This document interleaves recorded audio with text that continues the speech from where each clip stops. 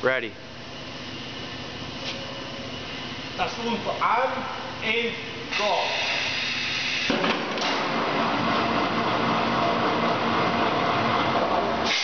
As you see, the screw goes up, puts pressure on the rubber, the air comes through the top into the top of the barrel. After the revolution, the arms and back swing in the barrel so don't expand too much. Arms here, arms here, and push them back. Pressure is relieved, no more in the center. Come out, barrel is perfect. Again, run. As you see, again, the screw goes up, pressure on the rubber, air is put in through the top. Air being put in, swing arms from the back and swing arms in the front, hold barrel so it does not over expand. There is adjustment in time for amount of time the barrel can turn. Screw goes back down, barrel is perfect. Again, run. Close, doors locked. Now it starts to screw up. Up, hits center on top, tells air to come in, swing arms to going back. And now timing begins for completing the repair of the barrel.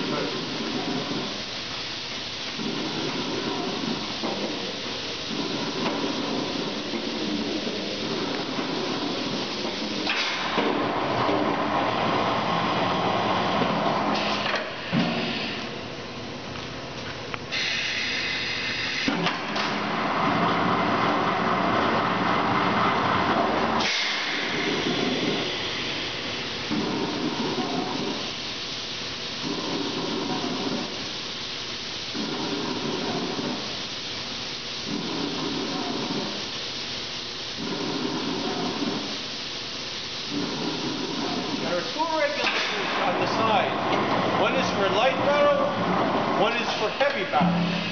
This arm adjusts the pressure.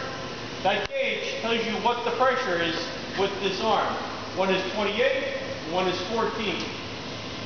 As you do, because of the lighter barrel, you go to less pounds. The heavier barrel, you go to 28 pounds. This adjusts your two pressures.